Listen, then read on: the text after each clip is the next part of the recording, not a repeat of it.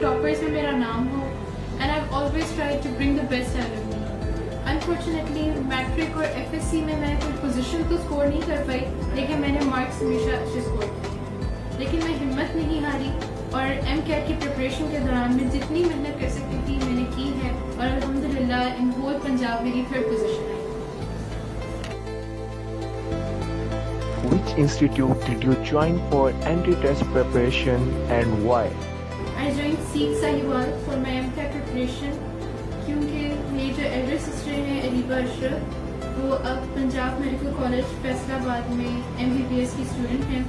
वो यहाँ पर उन्होंने एम कैट की प्रिपरेशन की थी 2012 में और उन्होंने मुझे रिकमेंड किया था कि मैं सीख को ज्वाइन करूँ। और दूसरा मोर इम्पोर्टेंटली रीज़न ये है कि एफएससी से पहले मैंने यहाँ पर एंट्री टेस्ट की तरह का एक एग्ज़ाम दिया था। और जिसकी टेस्ट डिस्कशन भी मैंने अटेंड की थी, जिसने मुझे काफ़ी इम्प्रेस किया है और मैं मोटिवेट हुई थी कि मुझे यहाँ ही आना चाहिए and I will be at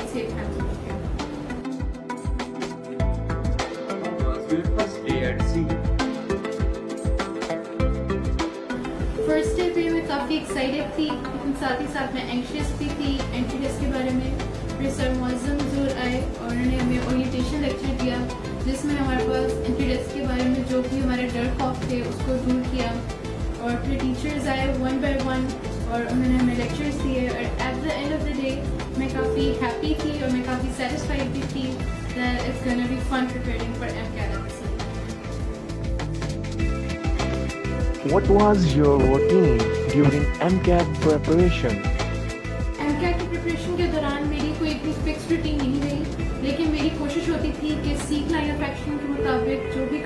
गया है उसे मैं रोज़ का रोज़ कंप्लीट करूँ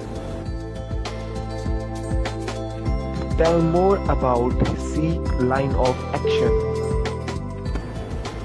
Seek line of action में हमें बताया गया था कि आपने एम कैट की प्रिपरेशन के लिए क्या करना है क्यों करना है और कैसे करना है इसमें हमें बताया गया कि सबसे पहले आपने घर से टेक्स्ट बुक की रीडिंग करके जानी है फिर आपने लेक्चर अटेंड करना है उसके बाद आपने घर आके टेक्स्ट बुक को और लेक्चर को कंबाइन करके पढ़ना है।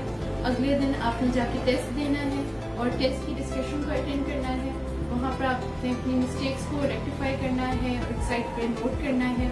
उसके बाद जैसे जैसे सिलेबस कवर होता जाएगा, आपने क्यूमुलेटिव हाफ़ सिलेबस और फुल सिलेबस टेस्ट देने हैं। उसके अंदर भी अपनी मिस्टेक्स को नोट करना है और हर टॉपिक के साथ interest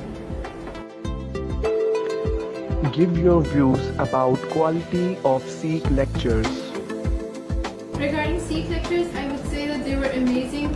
हर टीचर के पास लेक्चर्स उनके लैपटॉप में मौजूद होते थे और हमें प्रोजेक्टर के ज़रिए वो व्हाइट बोर्ड पे डिस्प्ले करके दिखाया जाता था और इसका बेस्ट पार्ट ये है कि हमारे पास उसकी हार्ड कॉपी लेक्चर नोट्स की सूरत में मौजूद होती थी और टीचर जो भी इम्पोर्टेंट पॉइंट्स या एक्स्ट्रा पॉइंट्स बताते थे उसे हम अपने लेक्चर नोट्स पे एनोटेट करते और इस तरह लेक्चर के दौरान मेरी जो अटेंशन है और फोकस वो लेक्चर समझने पे होती थी, ना कि लेक्चर नोट करने इसके अलावा सीखे लेक्चर्स के अंदर बहुत ही कुछ खास बातें हैं, जिन्होंने मुझे एग्ज़ाम के अंदर बहुत हेल्प किया है। एक ये कि इसके अंदर बिग पिक्चर का आइडिया इंट्रोड्यूस किया गया है, जिसके ज़रिए हम लेक्चर के तमाम पॉइंट्स के साथ हर वक्त कनेक्टेड रहते हैं। और हमारे कॉन्सेप्ट को मुख्तलिफ़ अंदाज से क्लियर किया गया साथ ही साथ यहाँ पर हमें क्वेश्चन मैप दिखाया जाता था कि किस किस तरह से इस टॉपिक में से क्वेश्चन आ सकते हैं। और पास पेपर क्वेश्चन भी हमें साथ ही साथ करवाए जाते हैं। यहाँ पर इंफॉर्मेशन जो है, वो बड़ा ही ऑर्गेनाइज की गई है। बुलेट्स की सूरत में टेबल्स और फ्लो शीट्स की सूरत में। मैं कहना चाहूँगी कि FSC की बुक्स के अंदर इंफॉर्मेशन बहुत ही स्कैटर्ड और हैफर्ड वे में मौजूद है और एक एंट्री टेस्ट के स्टूडेंट के लिए वहाँ से तैयारी करना बहुत ही मुश्किल हो जाता है। सीख के लेक्चर नोट्स के अंदर इंफॉर्मेशन को बहुत अच्छे से ऑर्गेनाइज किया गया है और इसका रियल बेनिफिट मैंने उस वक्त महसूस किया है जब टेस्ट के दौरान मैंने बड़ी आसानी से एम को उस ऑर्गेनाइज इंफॉर्मेशन के ज़रिए हल किया। Critical views about C class tests. सीख में हमारे टेस्ट डेली होते थे। रोज का कुछ टाइम है, वो टेस्ट के लिए स्पेसिफाइड होता था। और मैंने हमेशा कोशिश की थी कि टेस्ट में मेरे अच्छे मार्क्स आए और मैं पहले से अच्छा स्कोर करूँ। और मैंने हमेशा इसके लिए बेहतरीन तैयारी करने की कोशिश की। और टेस्ट को मैंने हमेशा सीरियसली लिया था और ऑनेस्टली टेस्ट किए थे। और यहाँ पर टेस्ट की डिफ़िकल्टी लेवल के बारे में मैं ये कहना चाहूँगी कि हमेशा ये एट और above the level of real exam था। और यहाँ पर जो टेस्ट डिस्कशन थी वो बहुत ही वर्सटाइल थी और बेस्ट पार्ट यहाँ का टे, टेस्ट डिस्कशन था। यहाँ पर सारे क्वेश्चंस को डिस्कस किया जाता था और सारे ऑप्शंस को डिस्कस किया जाता था कि जो सही है वो क्यों है और जो गलत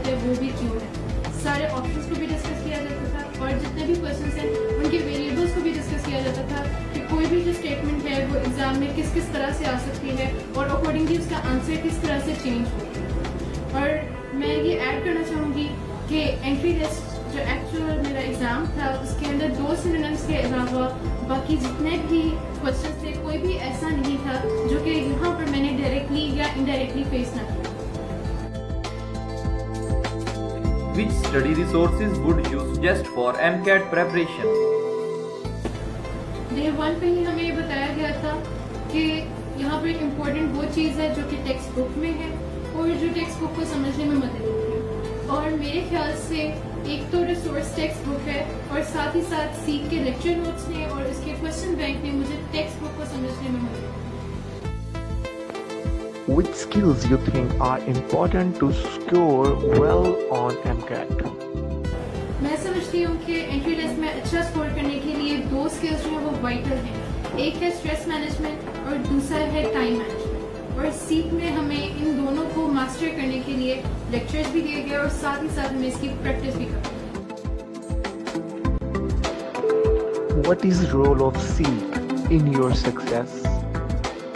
मेरी कामयाबी में सीख का सबसे अहम रोल ये था कि मेरी तमाम पॉसिबल मिस्टेक्स को सीख ने पिन पॉइंट कर दिया और रेक्टिफाई कर दिया How are you feeling on the day of final exam? Alhamdulillah, I was quite confident about my preparation and I also was quite relaxed. Which institute would you prefer for doing MBBS? मैं king Edward medical university या Rama Iqbal medical college से M करना चाहूँगी What is your passion? I want to go to medical teaching, revolutionize it, and bring it up to international standards. Would you like to give any message to students?